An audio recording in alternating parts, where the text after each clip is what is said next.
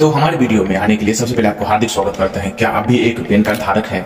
इसके माध्यम से आप सभी पैन कार्ड धारकों को आधार से पैन कार्ड लिंक कर सकते हैं। दोस्तों, आपको बता दें कि आधार कार्ड से पैन कार्ड लिंक करने के लिए पूरी प्रक्रिया पूरी तरह के ऑनलाइन माध्यम से रखी गई है। आप घर बैठे ही आधार कार्ड से पैन कार्ड का लिंक कर सकते हैं। इसीलिए आप भी पाठक लेख इस वीडियो को पूरा तक अंत तक ज़रूर देखें। तो आपकी जानकारी के मुताबिक आपको बता दें कि पैन कार्ड आधार कार्ड कैसे लिंक किया जाता है। तो मिनटों में चेक करें अपना स्टेट आधार कार्ड और पैन कार्ड से कैसे लिंक हुआ है या नहीं हुआ तो दोस्तों हम आपको बता देते हैं कि आई कार्ड विभाग भारत सरकार की तरफ़ से पैन कार्ड के आधार कार्ड लिंक कराए अनिवार्य कर दिया गया है और इसके लिए अंतिम तिथि भी घोषित कर दी गई है। इसीलिए हम जितने भी हमारे पाठक हैं, वो अपने आधार कार्ड से पैन कार्ड के लिंक अवश्य कर ले। अगर आपको यह पता नहीं चलता है कि आपका पैन कार्ड, आधार कार्ड से लिंक है या नहीं है तो जिसे चेक करने के लिए हमारे नीचे दिए गए पूरे डिस्क्रिप्शन में पूरा आपका लिंक दिया गया है, वहाँ से भी चेक कर सकते हैं और हम अपने वीडियो को यानी कि हम बताते हैं, वो इस आपको चेक करना होगा। चलिए हम बताते हैं। तो सबसे पहले आपको जाना पड़ेगा